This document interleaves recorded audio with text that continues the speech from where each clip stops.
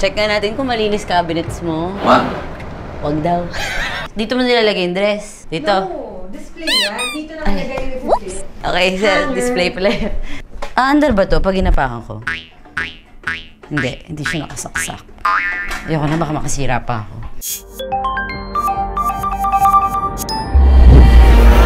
This is where it all begins.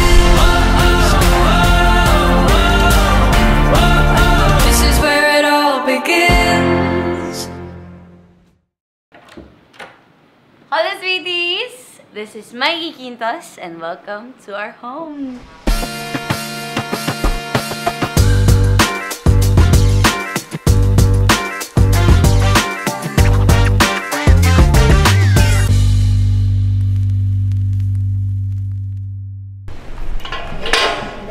Pasok kayo! Come in, come in. So, andito tayo ngayon sa garahe. But before natin ituloy yung house tour, make sure you hit the subscribe button and the bell button for notifications kung hindi pa kayo nakasubscribe. Kaya gusto kong mag-house tour ulit dahil yung unang house tour na ginawa natin, kung naaalala nyo, first look pa lang yun. Ito na ang house tour, final look.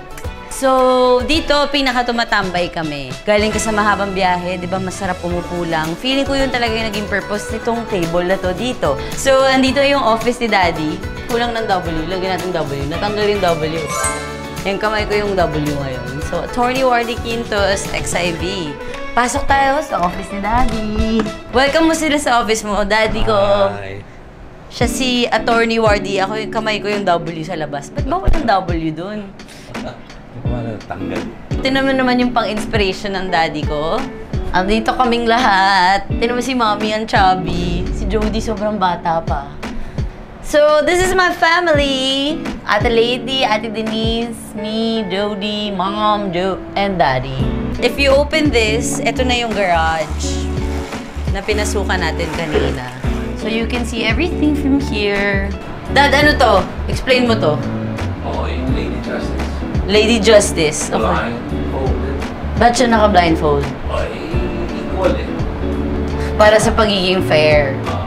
Okay, so since we're a family of lawyers, yan. Si Ate Lady din ata, parang ko, may- ganyan din siya. Okay, to reveal, countdown tayo. 3, 2, 1, action! Wow! Check nga natin kung malinis cabinets mo. Ma?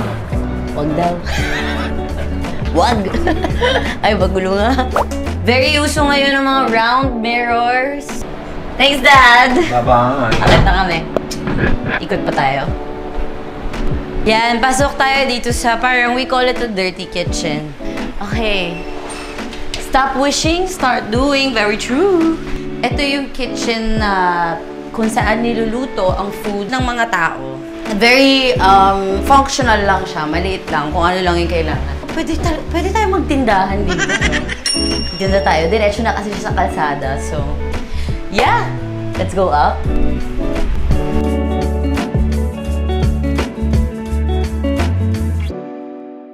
Come in! Say hi to Jimmy na and V. Pag kumukuha ako ng tubig sa madaling araw, sila yung nagpapasaya sa akin. Di ba nakaka-GB yung mga mukha nila? Eto, may photos pa dito. Um, our dogs ng ate ko, si Storm, tsaka si Gummy. Follow them on Instagram at Storybooge. And eto si ate lady right now. She's staying in her condo. And congrats, ate! She's pregnant right now. We're expecting ang first ever apo ng Quintos XIV family. So, ayan. May pa-pizza at may pa-chicken at may pa... Okay! Gusto mo titikman, di ba? Di ba? Nag-reply ka sa story ko. Ito ang best friend ko na hanggang lock-in, laging kasama ko. Dahil yan ang pantimpla ko ng kape ko. Ito palang paintings here. It's actually a pair. Yung subject niya, as you can see, are four girls all in all. Yung personality and yung vibe nung mismong art, nakikita namin yung mga sarili namin dito. Well, sabi ni ate, nakita niya agad dito, sarili niya, at yung panganay, si ate lady. So, silang dalawa daw yan. Tapos ako daw to, tapos ito daw si Jody. Kasi papansin daw ako. You agree? Naman, di ba? Slight lang, konti lang. Tapos si Jody, yan, dahil siya yung bunso, andyan din siya. And ngayon, papasok na tayo. We'll start from this room, and then we'll go in my the atelier. Pasok tayo dito sa office ni Ate Lady.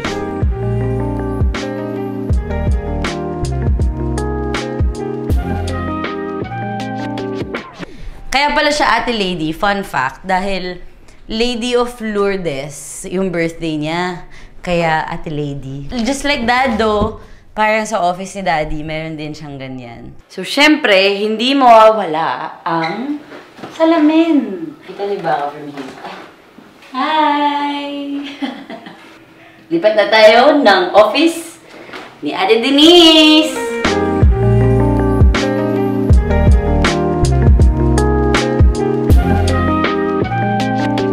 Let's all welcome my sisterette, Ate Denise.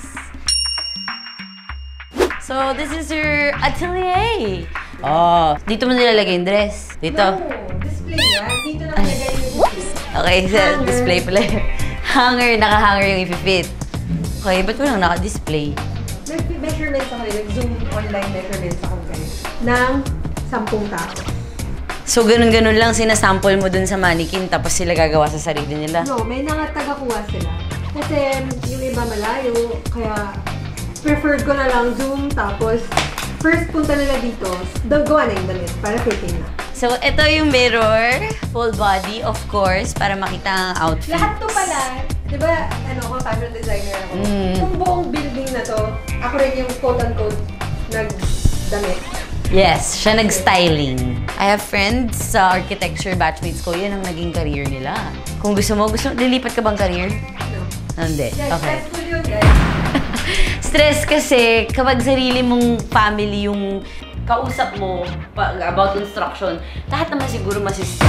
Nakaka-stress ang construction guys. But ayun, ito na yung curtain, dito nag-fit. It goes through until sa dulo.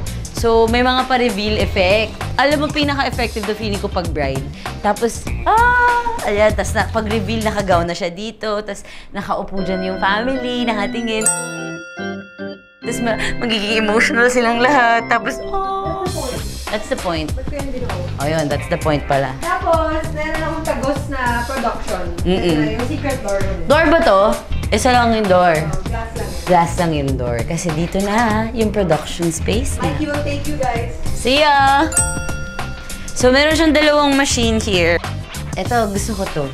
Ako nag-sponsor ng mga logo na yan kasi ako yung mahilig sa post-its. Andiyan na yung mga buttons, beads, everything you need. Ito, one of the pieces na ginagawa nila right now. I think this is for a wedding. I love how they used itong mga beams. Pwede siyang hangeran. Ayan, nakasabit yung mga hanger dyan. Siyempre, meron din siya rack dito. Ay, kama ng aso ko. Ba't nandito? Ayun natin dito. Ito yung mga thread at mga tela niya. Nandyan na. At dito nakapwesto yung dalawang staff niya. Dito sila nagtatahi. Ah, andar ba to pag ginapakan ko? Hindi. Hindi siya nakasaksak. Ayoko na, baka makasira pa. I know something about fashion design, guys. I learned about this. This is what you call a pattern table. Ate, di ba pattern table to? That's cutting table. Cutting table. Ano bang kinakat? Yung pattern. Pattern table pa rin. Ito, drafting table ko to, di ba? Tapos pinaayos mo. Yung unang-unang drafting table ko to, tapos pinapatungan niya ng gantong wood din ta- para mag-same yung kulay. Tapos pinapaint niya ng black yung silver na mga paa ng table. Tapos mannequins, racks. I think this one is from IKEA. Yeah, pati yung mga hanger galing din yung IKEA. So happy nung nag-open na yung IKEA dito sa Philippines. Baka naman IKEA. okay, ito din. It's from IKEA. Tapos, ay, ito ang gusto kong i-share sa inyo. Behind that door is actually the pantry. Di nyo alam na may isa pang pinto dito, no? Ayan! Actually, look at the door. Diba? Diba? Diba? Hindi nyo nahalatang may pinto dito kanina, no? That's the style. Actually, ayaw namin na masyadong maraming pinto para ma-feel din nila na hindi magiging masikip yung space here. Kaya naisip yung idea ng hidden door. So, yung minake sure na lang namin na magiging okay enough yung parang pagkasikip niya para maayos yung pagsara at hindi halata. Comment down below kung nahalata niyo ah. Hmm, gusto ko malaman yan. At pala yung exciting part. Na tayo guys. As you can see, it's MQ, meaning, mm,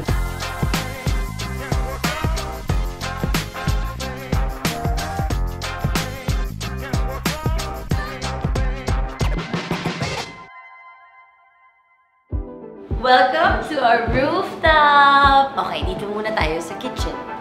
So, dito ako nagluluto kapag, nung nag-positive ako, dito ako na-stuck sa fifth floor ng isa. I really love this magnet. Nung galing to nga IKEA din, kailan yun ako dikit lang dun yung mga kutsilyo, masafe din siya. Itong stove na to, ito na yung stove namin since I was born. Dito din sa dulo, may konting pababa lang. Ito na yung laundry area. Mataas yung ceiling na para ma-maximize yung pagpasok ng hangin. Ito yung normal ref. Dun sa other side naman yung freezer.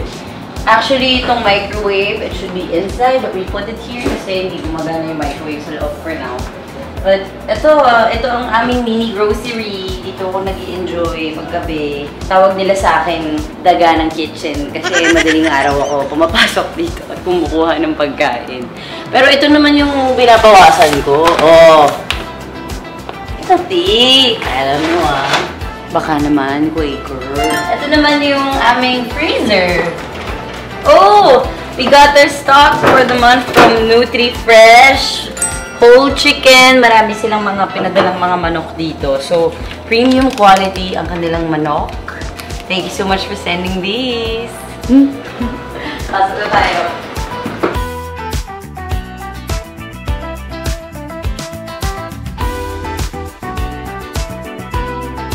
So this is the standby spot of the year. Start muna tayo dito sa show kitchen. So itong ang island, uh, center island, ginusto talaga naming um, nakadikit siya sa wall na para may bigger space dito. This was also a gift, gift for my mom. Hala, Uh-oh. Pa. Ito, dito ko tumatambay. Charging station to ng mommy ko. Dito siya nag-charge, dito siya nag-work. Ito, mga papeles niya to. All of this, storage din ng mga Uh, ayan, mga small spoon and fork. At dito naman na kape and tea. Ayan yung mga tea. Dito dapat yung microwave na kinikwento ko sa inyo. Pero medyo nagalo ko yung microwave pag nandun siya. I think it's too tight. Ito namang wine chiller namin. Hindi ko siya gets, honestly. Kasi ang bagal lumamig. Mas gusto ko pa rin ilagay sa normal ref. Open chips dyan namin nilalagay. Ito ang pinaka natatambayan na lugar. Nagkakaraoke kami hanggang madaling araw dyan. So, yeah, punta tayo sa sala. Etong beanbag na to, regalo yan ni Paul eh. Actually, ninakaw ko lang yan sa kwarto niya. Ito yung TV set with the full sound system. Tapos dito din, nandito na yung mga mics and karaoke stuff. Ito na yung pang sound system control. Itong rocking chair na to, masaya to. Oh, hindi nyo alam na rocking chair siya, no? Kung makikita nyo kasi itong dalawang side na to, na puro glass, na-open siya full. So, outside sa lanay, mako-connect siya dito sa sala. Open natin yung curtain. Sige, para makita niyo yung view. The other side. Na, nandito na din kasi sa side na to, yung banyo. Kasi yung powder room na pang mga bisita, ayan na siya. Can you see the door? Dito, may way dito, papunta na dun sa banyo. Straight, ba? Itong smoker, once pa lang namin nalulutuan ng steak to, pero grabe the quality of the meat after you cook it here, sobrang solid. Uni din, at saka pang ID namin. Itong couch na to, ang sayang magbasa ng script dito. Dito ako umaabot ng hanggang madaling araw nag-aaral. And fresh air! Welcome to Manila! Welcome to Sampaloc, Manila! Okay, ito namang table na to. Yan. Ginagamit to pang beer pong ng mga bisita ko. Si Paul kasi ang hilig pa rin maglaro doon. So pag may mga bisita kami, we have friends over. Nag nagsiset lang kami ng red cup sa both sides. Mga, tama lang yung haba niya eh. Pang beer pong talaga, di ba? Laro tayo? Game? Bola ba dyan? katago yung mga bola eh. Ah, imaginary ball. Okay, pasok naman tayo dito sa dance studio ng bunso kong kapatid na si Jody.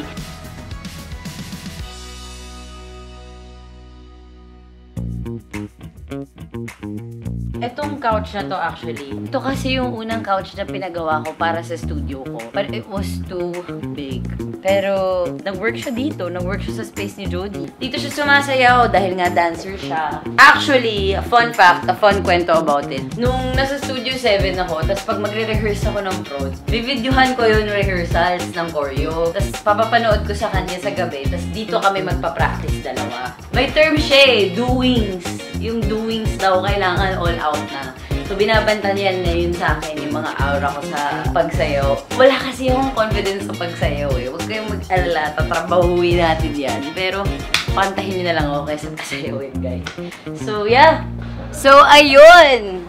We are finally done sa house tour. Sana nag-enjoy kayo dito. And sana nakita nyo din naman siguro yung difference from the first look, ba? Okay, pagpasensyahan nyo na kami dahil may kumakantang kapitbahay. Yaan na natin siya. Mas ganyan talaga kasaya dito sa Manila. So, ayun. Siguro short kwento lang din ng ano na yung feeling nung since nagawa tong bahay. It's already been a whole year since natitirhan na namin tong bahay. Narealize kong nakatulong sa family ko na meron kaming mga kanya-kanyang space dito sa bahay. Si Jody dito sa dance studio niya, ako studio ko, at yung dalawa kong ate. At of course, my parents, dati ko, siya yung tambay dyan sa sala talaga. Kung hindi namin hinihiram pag may mga bisita kami nag enjoy kami lalo na pinaka nakakapag-bonding kami when we're cooking here and we're eating dinner all at the same time dito sa Lanay with a really nice view. It becomes really nice here at night. May city line, yung mga buildings, pag naka-on na yung mga ilaw niyan sa gabi. Sobrang ganda. And yeah, I just feel so blessed and I think kaya din nabibless ng ganito ang family because we don't forget Parang we try our best to remind each other na huwag kalimutan kung ano pa rin yung importante sa buhay. And that's the quality time that we spend together. And yung family mo and kung sino yung mga mahal mo sa buhay, sila naman yung magbibigay ng strength sa yung kayanin yung mga mahihirap na times for you to be a better person, di ba? And yun yung nagagawa ng family ko for me. And I hope makita nyo din kung nahihirapan kayong makita yun ngayon sa inyo. Sana makita nyo at huwag nyong kalimutan na family first pa rin. Tayong mga Pinoy yan ang importante. And dahil sa reason din na yun, gusto kong mag-thank you na pumasok kayo dito sa bahay namin today. Thank you so much for your time, sweeties, for watching this video. I hope you guys enjoyed the house tour, yung final look na. And come again! Subscribe! like, share, and thank you so much again for watching this video. Just be yourself, guys. Just be yourself. Sincerely. Okay, so we have three flavors. Ito yung salty. Paliwag. Hindi, hindi.